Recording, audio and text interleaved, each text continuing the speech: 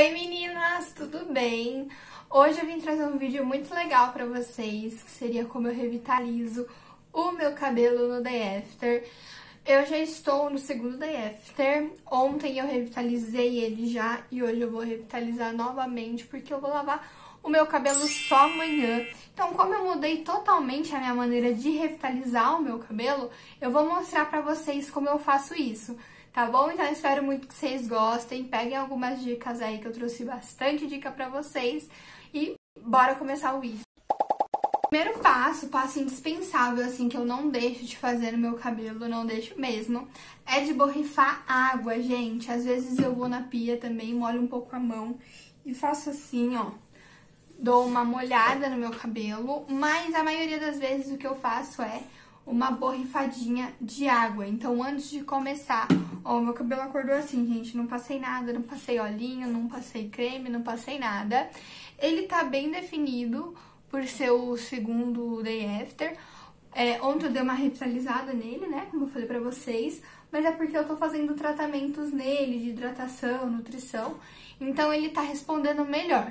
Então, se o seu cabelo não tem um bom day after, uma boa finalização, você não consegue manter a definição dele, ele fica com muito frizz, é porque o seu cabelo tá precisando de um tratamento, tá? Então, sempre busque fazer uma umectação por semana, uma hidratação, uma reconstrução aí uma vez no mês, duas vezes no mês, tá? Então, pro seu cabelo ele definir mais, o cabelo cacheado ele exige um pouco mais de atenção, né? Então, é isso. Bom, então eu vou começar aqui aplicando um pouquinho de água, assim, no meu cabelo. Aqui só tem água, tá, gente? Eu não gosto de misturar o creme na água. Eu gosto de passar somente a água. Agora eu venho com o creme. Eu sempre escolho um creme mais leve, um leave-in. Ultimamente eu tenho usado esse aqui, que é o Seda by Gigi Grigio, tá? Então, ele não é um creme muito pesado, tá até acabando, ele é um creme mais leve. E apesar da textura dele ser mais consistente, meu cabelo reconhece ele como um, creme, como um creminho mais leve, sabe? Então, ele não mistura com o creme que eu já finalizei o meu cabelo. Ele não vai ficar grudento, ele não vai ficar meloso, sabe? Porque ele é um creme que o meu cabelo aceita como leve, como se fosse um leave mesmo. Então, eu venho, passo assim, ó e agora eu venho separando os cachos. Antes de qualquer outra coisa, eu dou uma separada nos cachos, eu vejo se os cachos estão muito grudadinhos, ó. Olha aqui, por exemplo.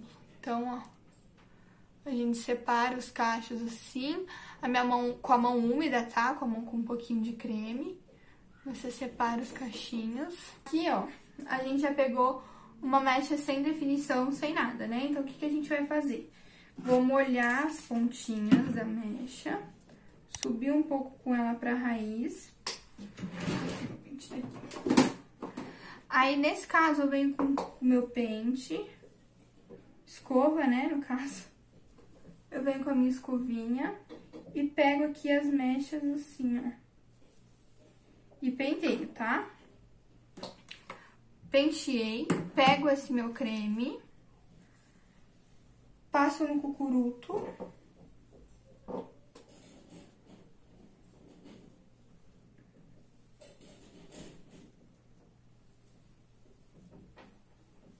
Passei o creme, eu penteio novamente para ele não ficar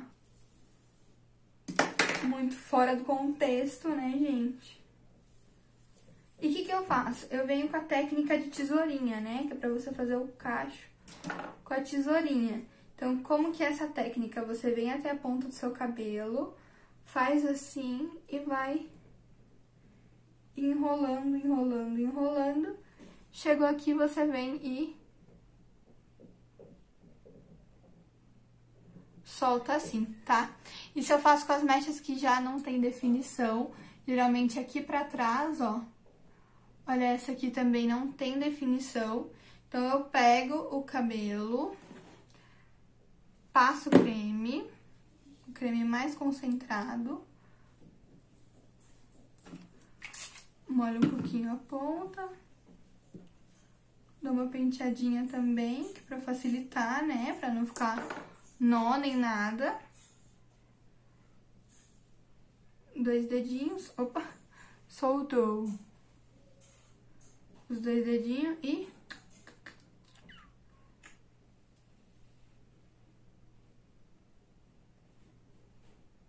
O cabelo ele não fica totalmente molhado, então ele vai secar mais rápido. E agora é a parte que eu resolvo aqui embaixo.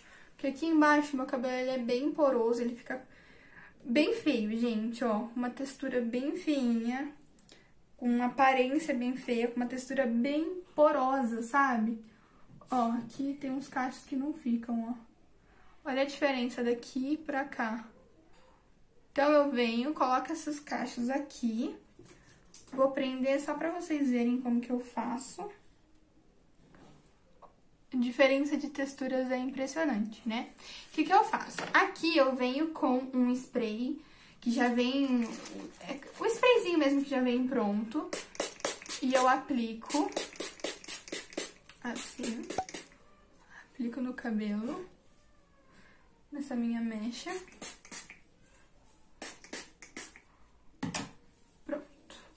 que eu creio que é melhor do que a água. A água eu já, eu já espirrei um pouco, né? E como se eu espirrar sprays assim no meu cabelo todo e depois passar o creme, ele vai ficar pesado, ele vai ficar gorduroso, não vai ficar legal. Olha que bonitinho, gente. Não vai ficar legal. Então eu tenho que espremer aqui onde é mais poroso, sabe? Que no caso são essas partes aqui. Então depois que eu espirrei o meu sprayzinho, eu venho com um olhinho de cabelo que é o da Sala Online, esse é esse Cachos Coco, que é o meu favorito, gente, eu amo esse óleo. E eu pego e passo aqui nessas minhas mechas. Essas mechas, elas não perdem definição, gente. Eu posso puxar elas à vontade, que elas não perdem definição. Depois a gente só dá uma separada assim. Ó, que massa!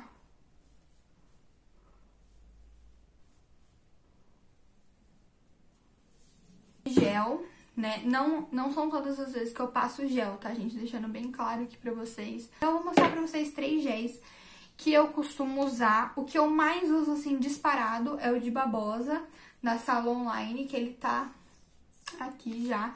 Eu amo esse gel, o cheiro dele é gostoso, ele não deixa o cabelo duro, ele é muito fácil de trabalhar, não fica com a mão melosa. Eu acho que é o melhor gel, assim, que eu já usei. E eu já usei gel da, Salon, da Soul Power, já usei vários géis. Mas esse gel aqui de babosa, ele é bem bom, é um gel líquido, né? Então, ele é top, preço também é maravilhoso. Outro gel geleia que eu uso é o da Seda.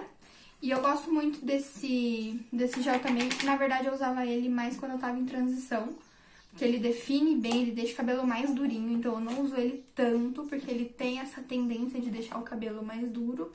Mas ele é muito bom também. Se você tiver em transição, gente, ele é maravilhoso. Ele é muito melhor que os géis da sala online, inclusive, tá?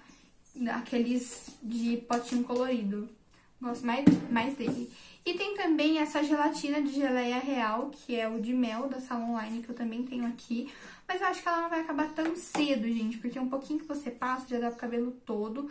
Só que eu não gosto muito da textura, enfim, só o cheiro que é gostoso. O cheiro é maravilhoso. Só que ela é mais dificinha de usar. Vou usar ela aqui com vocês, ó, ela tem uma textura... Parece um mel mesmo. Então, eu pego dois dedinhos somente, espalho na mão toda. E venho dando uma amassada no meu cabelo, tá? O cheiro fica muito bom, gente, vou falar pra vocês. Pego mais dois dedinhos, bem pouquinho, gente. Como o cabelo ele tá molhadinho, ele recebe melhor essa geleia. Não tô enxergando muito bem, mas é basicamente isso que eu faço, tá? Se eu vejo que tá faltando óleo, mas aqui pra baixo eu passo também. Aqui em cima eu gosto mais de passar um gel, porque meu cabelo prefere. Mas é isso, gente. E se eu vejo cachos grandões assim também, eu separo e vou fazendo dessa forma, tá? Mas eu recomendo sempre que você for mexer no seu cabelo, que você mexa com ele úmido, tá? Dá uma espirrada com um pouquinho de água, ou pelo menos um spray já ativador. Umedece ou umedece um pouco a mão e passa no seu cabelo, geralmente no, quando eu tô na pia do banheiro, eu umedeço assim a mão e passo também, porque o cabelo, se você manuseia ele com a mão seca ou ele mesmo estando totalmente seco, ele tende a ficar com mais frizz, tá? Então aí é uma dica também pra vocês. Toda vez que eu manuseei ele, que, ele, que minha mão tava seca ou que o cabelo tava seco, ele fica com um frizz a mais, tá? Então, ó, deu pra vocês perceberem que o frizz já baixou bastante. Deu uma ajeitada aqui nesses baby hair. E o cabelo, ele ficou mais definido e mais brilhoso, tá? Com mais movimento também, ó. Ele dá um movimento a mais. E é isso, gente. Espero muito que vocês tenham gostado do vídeo. Se vocês usam algum desses produtos, comenta aqui embaixo que eu quero muito saber quais vocês usam, quais vocês gostam, quais produtos vocês usam também na, é, no Day After de vocês, né? Pra ativar os cachos de vocês, que eu também quero saber, quero também pegar dicas aqui nos comentários, tá bom? Se inscrevam no canal, cliquem no gostei. O meu Instagram vai estar aqui embaixo para vocês irem me seguir, bater um papo comigo. Um beijo e até o próximo vídeo. Tchau!